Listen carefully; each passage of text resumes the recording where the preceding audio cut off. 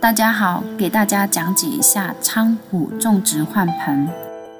用手轻轻按压盆的植料，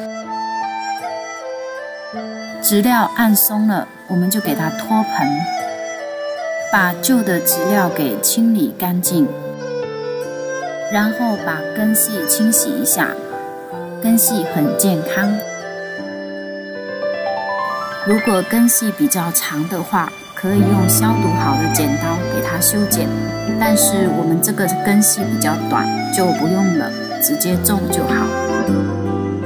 用一个透气性比较好的盆，盆有孔，透气性就比较好。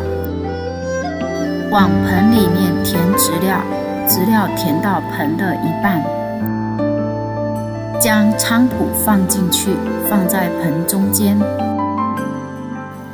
后往这个边缘上慢慢的填上这个植料，填到八分满的时候，用手轻轻的按压紧实。我们用一款通用的好康多款式肥，根据植株大小撒个十几粒，再继续填植料。我们再用赤玉土和小红石沿着盆边缘铺满。铺小红石和赤玉土，是因为我们原来的质量比较轻，一方面是为了美观，另一方面是为了防止浇水时